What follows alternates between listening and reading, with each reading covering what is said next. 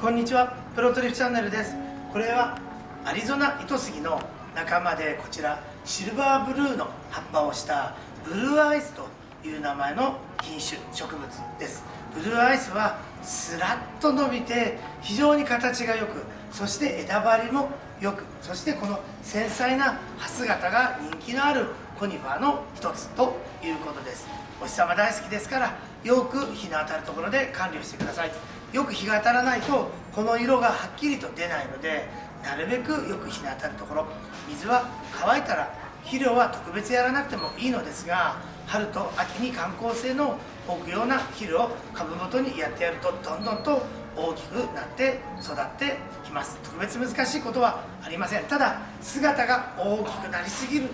ということがあるかもしれないのでその時は適当に全体のバランスを見ながら剪定をして枝の形を整えてやるといいと思います。